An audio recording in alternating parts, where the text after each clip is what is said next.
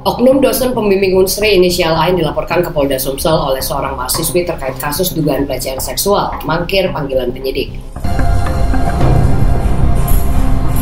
Eh, si A itu tidak bisa hadir dengan alasannya keluarga. Pelaku komplotan Pertamina pastikan stok BBM dan LPG Palembang Baru TV. Kami Lukas, aktual, independen, dan terpercaya. Oknum dosen A tersebut seharusnya dijadwalkan memenuhi panggilan pertama penyidik Subdit PPA di Treskrim Umum Polda Sumatera Selatan sebagai saksi pada Jumat pagi. Namun yang bersangkutan tidak memenuhi panggilan dengan alasan ada urusan keluarga. Menurut Kasubdit PPA, Kompol Mas Noni, setelah tidak memenuhi panggilan pertama, penyidik akan mengirimkan surat untuk panggilan kedua terhadap oknum dosen pembimbing berinisial A yang dijadwalkan pada hari Senin mendatang.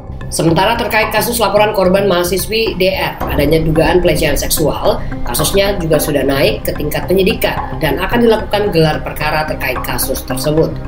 Hal itu lantaran polisi sudah melakukan pemeriksaan terhadap korban, dua orang saksi yakni tukang ojek yang mengantar korban ke lapor Unsri, serta adik tingkat korban yang sempat ditanyakan korban keberadaan dosen pembimbing inisial tersebut. Sebelumnya, mahasiswi Unsri berinisial DR melaporkan tindak pidana pelecehan seksual yang dilakukan oleh oknum dosen pembimbing Unsri ke Subdit Perlindungan Perempuan dan Anak di Treskrim Umum Polda Sumsel.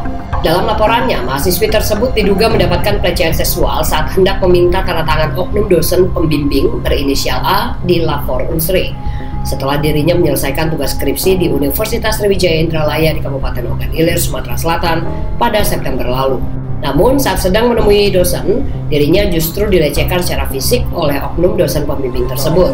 Dosen ini mangkir dari panggilan pertama. Iya, eh, kemarin kita melakukan pemanggilan terhadap oknum, eh, kita lakukan pemanggilan sebagai saksi. Ternyata hari ini tidak hadir.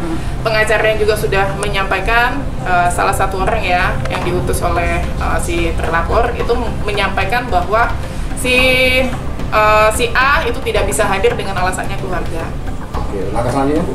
Ya, untuk hari ini kan kita sudah kemarin sudah melakukan pemeriksaan saksi-saksi dan kita hari ini untuk melakukan gelar perkara proses dari lidik kita ke sidik.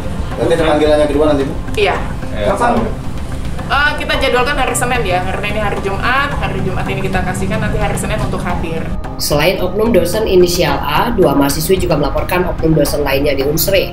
Oknum dosen tersebut dilaporkan karena melecehkan melalui handphone atau melanggar norma kesopanan. Dari Palembang, Sumatera Selatan, reporter Jen, kameramen Apriansyah, BBTV mengabarkan.